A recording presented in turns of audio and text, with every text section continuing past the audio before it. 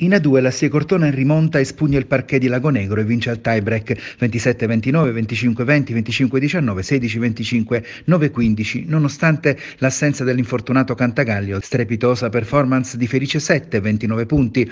Per i locali Turin 28, due punti preziosi e quinta piazza con due gare da recuperare in casa ortonese. In A3 Labba Pineto crolla ad Aversa 3-0 a 18, 22, 21 parziali dopo 11 successi consecutivi. L'impiego minimo di Morelli non giustifica una giornataccia che ci può stare, ma che spedisce i pinettesi al terzo posto a meno 3 dalla vetta. Succede. In B maschile cade l'Alba Adriatica a Potenza Picena 3-1, accusando pesantemente l'assenza del pezzo da 90 di Felice.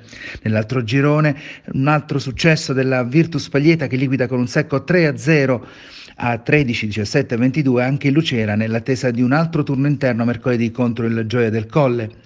In B1 femminile l'Altino cede nel big match al Sant'Elia per 0 a 3, a 20, 23 e 19 in una gara a fase alterne per il sestetto di Litterio che resta al secondo posto. Non gioca nemmeno stavolta la Conetti.it Chieti che salterà pure il prossimo turno in casa, 6 gare su 6 mai giocate. In B2 la Rabona espugna a Pagliare 3-0, 24, 17, 24 nelle immagini e si appresta a ospitare mercoledì prossimo l'altra capolista Porto Sant'Elpidio. Exploit esterno 3-1 anche dell'impianti Futura Teramo che in classifica sale a 10 punti e onorevolissima terza piazza cede 1-3 contro le forti marchigiane del Porto Sant'Elpidio, una guerrita e poco fortunata Gada Pescara 3 che dà comunque evidenti segnali di crescita.